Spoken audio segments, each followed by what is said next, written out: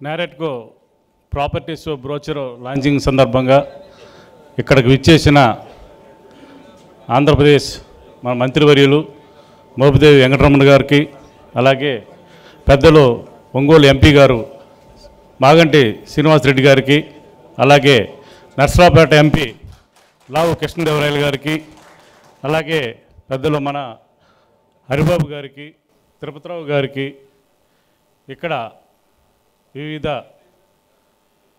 పట్టణాల నుంచి వచ్చిన నేరెట్కో ప్రెసిడెంట్లు కానీ సెక్రటరీలు కానీ మిగతా నా తోటి రియల్టర్ బిల్డర్స్ అందరికీ నా హృదయపూర్వక నమస్కారాలు తెలియజేస్తున్నాను. మన హరిబాబు గారు చెప్పారు ఇప్పుడు నాలుగు నెలల మించి మార్కెట్ డౌన్గా ఉందని నాలుగు నెలల మించి ఏమీ లేదు. నాకు తెలిసి గుంటూరు విజయవాడ అయితే రెండు సంవత్సరాల నుంచి మార్కెట్ కొంచెం స్లోగా ఉన్నమాట వాస్తవం.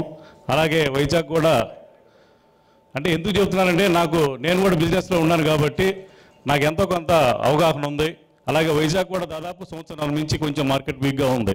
ఇది జగన్మోహన్ రెడ్డి రావడం వల్ల లేకపోతే ఇంక వేరే వేరే అపోహలు అయితే ఎలాంటి అవసరం లేదు. దాన్ని ఎలా ముందుకు తీసుకెళ్ళాలని కూడా మా ప్రయత్నం మేము ముందుకు మేము ఆలోచన చేస్తూనే ఉన్నాము ఇబ్బంది ఏమి ఇబ్బంది ఏమి ఉండవు. రాజశేఖర రెడ్డి గారు రెండు వేల నాలుగులో వచ్చినప్పుడు మార్కెట్ హరిబాబు గారు చెప్పినట్టు వాస్తవంగా మార్కెట్ డౌన్ అయింది. తర్వాత అది ఎక్కడికి వెళ్ళిందో మీరే చూశారు. దాదాపు పది రెట్లు పదిహేను రెట్లు కూడా పెరిగిన సందర్భాలు ఉన్నాయి అక్కడ. అలాగే ఇప్పుడు కూడా అన్నీ అనుకూలంగా ఉన్నాయి మనకి.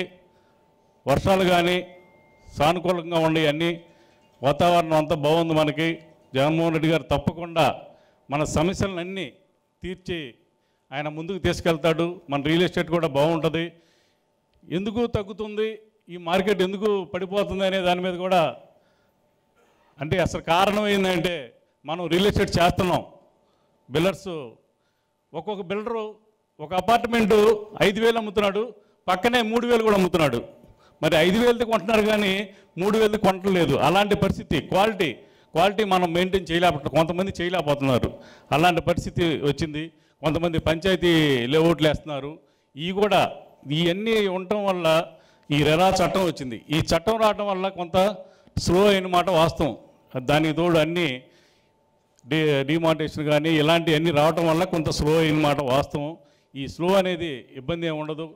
ముందు ముందు బాగానే ఉంటుంది. అన్ని రకాలుగా ఇప్పుడు గవర్నమెంట్లో కూడా ఇంతకుముందు ఒక ఎమ్మెల్యేలు ఎంపీలు ఉండేవాళ్ళు కాదు. ఇప్పుడు మన రియల్ ఎస్టేట్ నుంచి కూడా ఒక ఎంపీ ఒక ఎమ్మెల్యేలు కూడా దీంట్లో ఉన్నారు. మీ అందరికీ సపోర్ట్గా ఎట్టి పరిస్థితుల్లో మీ అందరం ఉంటాం ఇబ్బంది ఏమి లేదు. అలాగే రియల్ ఎస్టేట్ బాగుంటేనే ఏ వ్యాపారమైనా సరే బాగుండేది. మనం బాగుంటేనే మిగతా వాళ్ళు బాగుంటారు. లేకపోతే మనం బాగోకపోతే ఏ వ్యాపారం కూడా దాదాపు నాకు తెలిసి ఏ ఒక్క వ్యాపారం కూడా బాగోదు. మన మీదే అన్ని ఆధారపడి ఉంటాయి. మనం ఎంతోమందికి ఎంప్లాయ్మెంట్ ఇస్తున్నాం. గవర్నమెంట్ చేయలేని పని కూడా మనం చేస్తున్నాం. గర్వంగా నేను చెప్పగలుగుతున్నాను. మనం అలాంటి ఎంతోమందికి ఉపాధి కల్పిస్తున్నాం.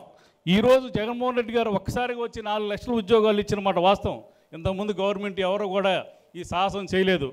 కానీ మన రియల్ ఎస్టేట్ వాళ్ళు ఎంతోమందికి లక్షల మందికి ఉపాధి మనం కల్పిస్తున్నాం. అది మనం అందరం గర్వంగా చెప్పుకోవచ్చు. ఎట్టి పరిస్థితుల్లో కూడా మీ అందరికీ మీ తరపు నుంచి కూడా నేను పోరాడి ఏ ఎలాంటి చిన్న చిన్న సమస్యలు ఉన్నా కూడా మొన్నే విజయవాడలో మీటింగ్ జరిగింది మీ మినిస్టర్ గారితో మన సమస్యలన్నీ దాదాపుగా మనకు ఉన్న సమస్యలు అలాంటివన్నీ మేము ఎక్స్ప్లెయిన్ చేసి సార్ని ఒప్పించి మనం అన్నీ ఒప్ అయ్యి అమలుపరిచేటట్టుగా నా వంతు నేను కృషి చేస్తానని అలాగే మినిస్టర్ ద్వారా మనకి అపాయింట్మెంటు జగన్మోహన్ రెడ్డి గారితో ఒకసారి ఇప్పిస్తే మనకున్న సమస్యలు చెప్పి మనకు ఏం అవకాశాలు ఉన్నాయో ఆ అవకాశాలను మనం ఉపయోగించుకోవాలని కోరుకుంటూ సెలవు తీసుకుంటున్నాను.